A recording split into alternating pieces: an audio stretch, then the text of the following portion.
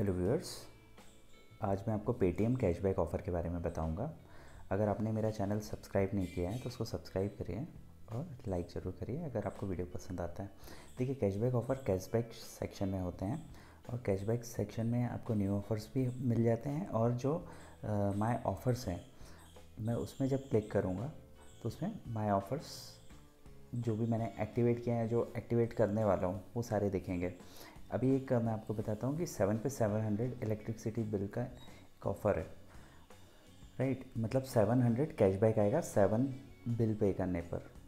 लेकिन इसकी terms and condition को हमको रीड आउट करना है। फ़र्स्ट ऑफ़ ऑल तो ये जो ऑफ़र वैलिड है, इसकी वैलिडिटी क्या है? और इसका मेन जो टर्म्स एंड कंडीशन है, मिनिमम टू थाउज़ेंड या और मोर का बिल होना चाहिए।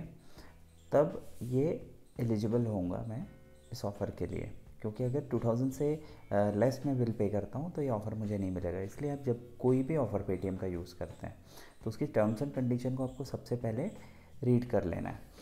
और पेटीएम के और भी बहुत सारे ऑफ़र्स होते हैं। जब आप डिफरेंट डिफरेंट ट्रांजेक्शन्स करते हैं तो आपको ऑफ़र्स आते हैं, लेकिन हमेशा उसकी वैलिडिटी का आपको ध्यान रखना है।